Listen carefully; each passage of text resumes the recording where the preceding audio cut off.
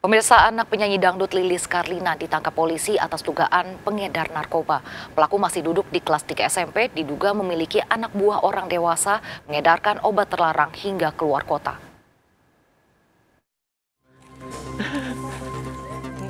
Penyanyi dangdut senior Lilis Karlina meninggalkan Polres Purwakarta, Jawa Barat usai menyinggung anaknya yang ditangkap polisi.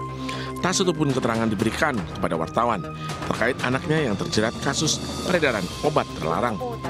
Tak disangka anak Lilis Karlina berinisial RDI masih duduk di bangku kelas 3 SMP. Bahkan RDI diduga menjadi pengendali jaringan pengedar narkoba. RDI diduga memiliki anak buah orang dewasa yang berperan mengedarkan obat terlarang hingga keluar kota. Modus operandi tersangka yaitu mengedarkan sediaan farmasi yang tidak memiliki izin edar, di mana tersangka membeli sejumlah obat-obat yang tidak memiliki izin edar secara online, kemudian menjual kembali.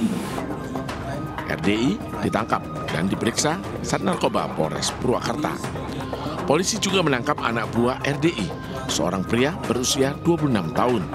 Dari tangan pelaku, polisi menyita lebih dari seribu butir narkoba golongan satu dari berbagai merek. Dari Purwakarta, Jawa Barat, Irwan melaporkan.